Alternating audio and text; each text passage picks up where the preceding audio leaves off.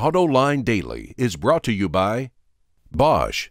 The number of clean diesel models in North America will double by 2014. Bosch Clean Diesel. Good, clean, fun.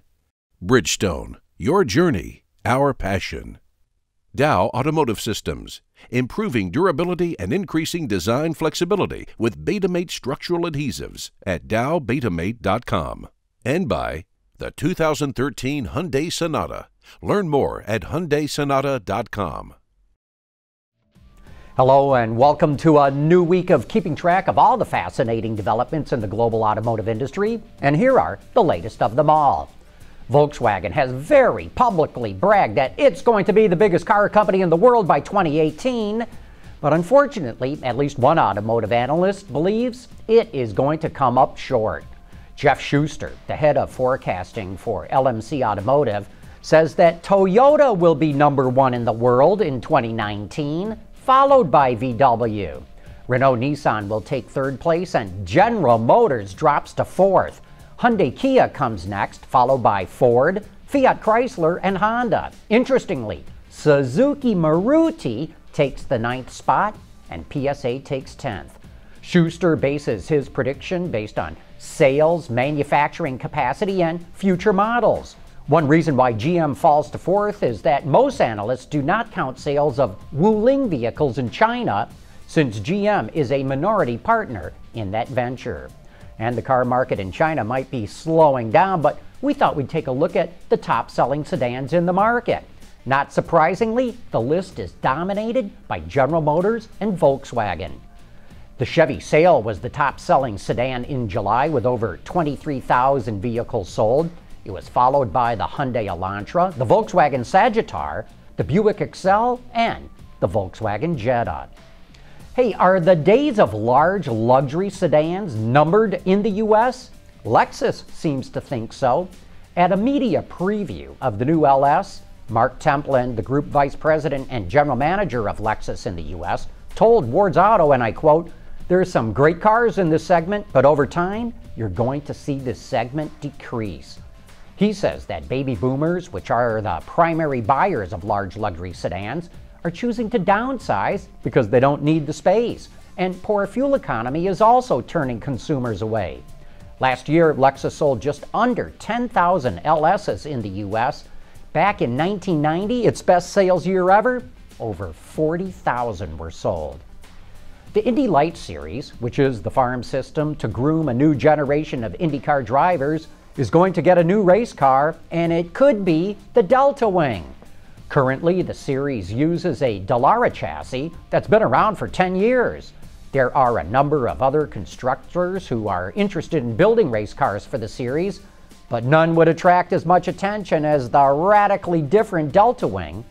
Nissan sponsored the Delta Wing at this year's 24 Hours of Le Mans, but no word yet if Nissan would be involved in the Indy Light series. Boy, there's big trouble on the horizon for automakers because young people are not buying cars like they used to. According to a study by R.L. Polk, 18 to 34 year olds accounted for 17% of new vehicle purchases in April of 2007. That's before the Great Recession hit, but now that's declined to just 11%. Financially hampered youngsters may be throttling back demand by as many as 2 million units annually. And are you ready for another distressing statistic? In 1983, 92% of 20 to 24 year olds had driver's licenses. In 2010, it was only 81%. Contract negotiations between the Canadian Auto Workers Union and the Big Three kick off this week. According to the Detroit Free Press, GM, Ford, and Chrysler want more concessions, but the CAW has two important trump cards. For the first time in a long time, North American profits at each of the automakers are strong. And beyond this important fact, none of them have taken very much away from workers in Europe, where the situation's turning into a bloodbath. But with the loonie at parity with the US dollar, manufacturing is more expensive than ever in Canada, and that's going to work against the CAW in these negotiations. It's been out of the market for the last six years, but after the break, we'll give you the first sneak peek at the John Cooper's Works GP edition, and very few of them will actually be built. Dow Automotive Systems, driving solutions in automotive, commercial transportation, and aftermarket with innovative products like Betamate structural adhesives. Lighter, stronger, safer. DowBetamate.com. The GP Edition is a very special version of the John Cooper's Works Mini, and we were able to get a look at the car and the most important highlights of it before it officially debuts at next month's Paris Auto Show. Hi, I'm Patrick McKenna. I'm the product planning manager from Mini USA, and I'm here in front of the new Mini John Cooper Works GP. The GP came to uh, the US in 2006 for the first time, and it's now coming back at the end of uh, 2012 in production, available in early 2013. This is a very special car within the Mini family. It's the fastest Mini we have ever built. It ran the Nürburgring Nordschleife, the famous racetrack in Germany, 19 seconds faster than its predecessor. So it starts with uh, visually very aggressive uh, air dams in the front, uh, some skirts along the bottom that are uh, just beautiful uh, details, very aggressive look to it. Uh, clearly identified as the GP right here on the bonnet scoop. Chili red, which is unique to the John Cooper Works model line. And this is a unique color that's only offered on the, the GP. So there's no other cars that will have that. When we come to the wheel design, this is a, a, a, wheel design that's very similar to the car we offered in 2006. So this quad design really hasn't been used on any other uh, Minis uh, in production. And we have massive, massive six piston brake calipers here. So we're talking about racing brakes, uh, racing setup for this. Uh, uh, sport tires, uh, suspension and engine setup for the racetrack, even though it's street legal. We continue with the designation for GP along the side. The chili red accents here on the mirror uh, carry through as a John Cooper Works identification. Nice uh, aero package here as well. And this car will actually be fully revealed at the Paris Auto Show uh, later this year in September.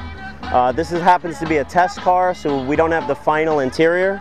But this detail in the back is probably my favorite uh, element, and it's a rear diffuser. The complete underside of this vehicle uh, is covered, so we minimize drag.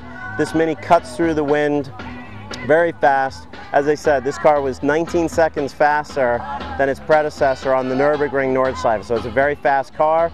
And we've got this uh, really nice uh, rear wing. Uh, there's some carbon fiber elements on this car as well.